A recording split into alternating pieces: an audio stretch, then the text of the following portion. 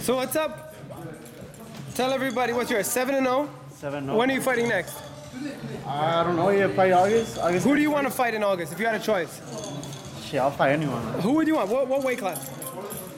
130, 135. Okay. Break this down. Tevin Farmer against Billy Dib, IBF Championship. Who wins? Uh, I think Tevin Farmer. Why? Because uh, Billy Dib's a veteran already. I think it's Tevin Farmer's time. Gervonta Davis has had a lot of beef with Ryan Garcia. They were supposed to spar. You sparred Ryan. Break down the fight Gervonta against Ryan. Gervonta was Why? just a different animal, man. Experience. World champ. He's on a world champion level. How about you and Ryan? Would you like that fight? Yeah, sure. Do you think you have a good chance? You're only 7 0. He's 15 0.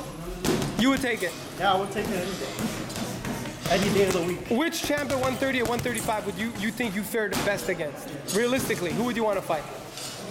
You have Machado. Uh, you have uh, who else do you have at 130 with the belt? You have Tank has one belt. Who has the WBC belt at 130? Uh, Berchelt. Berchelt, Miguel Berchelt. How about you and Berchelt? Mexico against Mexico. Shit. I'll be, uh, I'll be, I'll be down for it, man. I'll be down for it. Uh, I think he has so much, too much experience right now, but sure enough, in the future, I'll, I'll do it. Bunny, break it down. Danny Garcia, Shawn Porter.